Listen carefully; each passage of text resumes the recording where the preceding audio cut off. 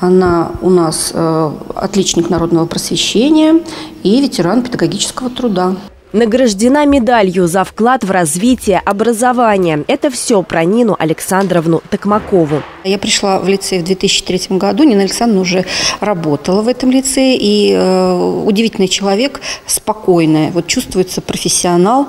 Э, всегда воодушевляла своих учеников и своим спокойствием внушала им уверенность в своих знаниях. С 1987 по 2008 30 лет Нина Токмакова отработала учителем математики и заместителем директора в Одинцовском лицее номер 6. На днях ей исполнилось 90 лет. Нина Александровна, это мы кошел.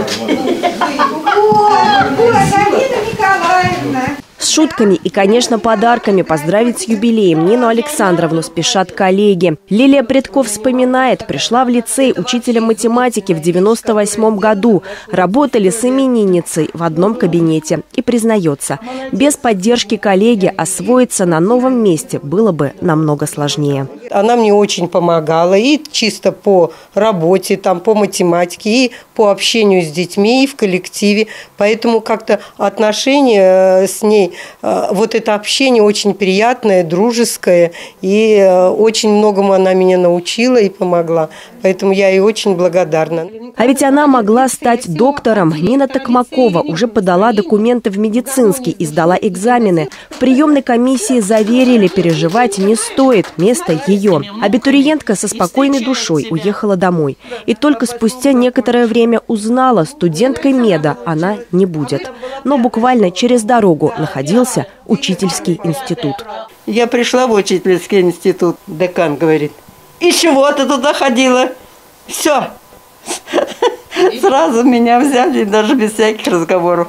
Но я два, два года там закончила и пошла работать.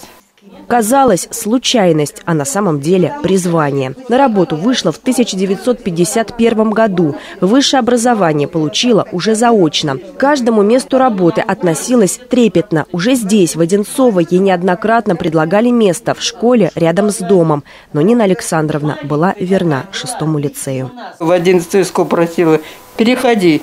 Как это я пойду? Я в одной школе работаю. И там все свои ребята. Также верна Нина Александровна была своим педагогическим принципом. Урок «Как не надо вести себя с учениками» получила еще, будучи школьницей. То ли я слово по не по-русски сказала. Все-таки я же в деревне э, это была.